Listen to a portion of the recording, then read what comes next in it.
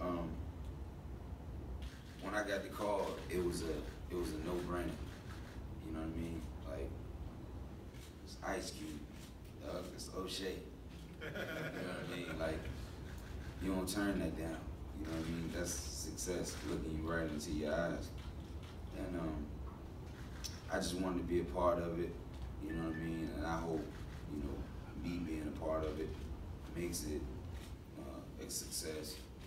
Um, like everything that he's been doing in his life, positive. Um, my man Raj, that's my dude. You know what I mean?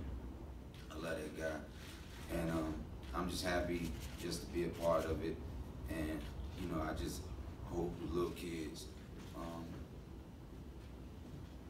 just get a chance to embrace it and love it uh, for what it is. Um, this is not gonna be the only time we do it. You know what I mean? This is gonna go on and on and on and on, and it, uh, it's gonna be a part of our culture.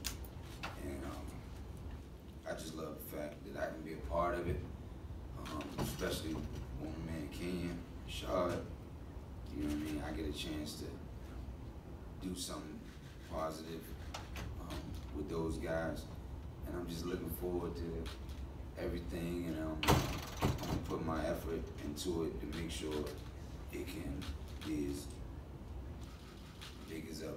You know what I mean? And that's what's up.